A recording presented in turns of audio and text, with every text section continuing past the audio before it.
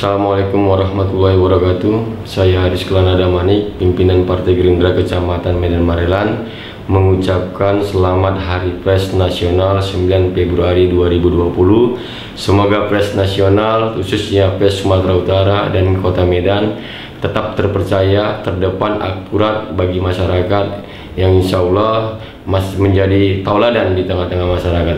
Selamat Hari Pers Nasional 9 Februari 2020 PES Indonesia tetap jaya